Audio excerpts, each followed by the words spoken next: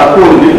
మళ్ళీ గ్రామ పంచాయతీ సిబ్బందికి వేతనాలు చెల్లించకుండా ఇబ్బందులకు గురి చేస్తున్న గ్రామ సర్పంచ్ను తొలగించాలంటూ మహబూబాబాద్ జిల్లా కలెక్టర్ కార్యాలయం ముందు మరిపేడ మండలం దానంచర్ల గ్రామస్తులు ఆందోళన చేపట్టారు. అవినీతికి పాల్పడుతున్న సర్పంచ్ను తొలగించాలని గ్రామ పంచాయతీ సిబ్బందికి వేతనాలు చెల్లించాలని డిమాండ్ చేశారు. పెత్తనం చెలాయిస్తున్న సర్పంచ్ భర్తపై చర్యలు తీసుకోవాలంటూ నినాదాలు చేశారు.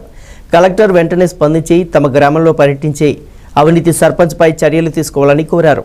కలెక్టర్ కార్యాలయంలో సమీక్షా సమావేశాన్ని ముగించుకుని వచ్చిన మంత్రి సత్యవతి రాథోడ్కు వినతి పత్రాన్ని అందజేశారు.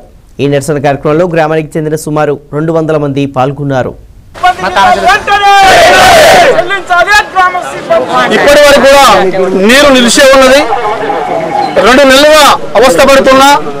పట్టించుకున్న పరిస్థితి లేదు. యువపేరెడ్డి గారు పెద్దలు వచ్చి చెప్పినా పట్టించుకున్న పరిస్థితి లేదు. ఆ తర్వాత మీ దిక్కున్న చోట చెప్పుకోమని శ్వేత భర్త ముఖేష్ గారు పెత్తానం చేయడం జరుగుతుంది.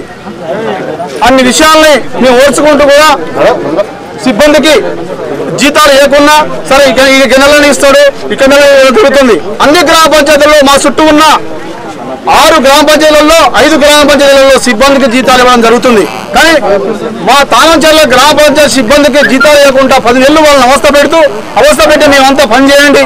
ఈ రోజు కాబట్టి ఇంకో వస్తాయని మేము చెప్పడం జరిగింది. మా విషయాన్ని వాళ్ళ సిబ్బంది గమనించి జీతాలు ఇవ్వకుండా వాళ్ళు పని చేయడం జరుగుతుంది.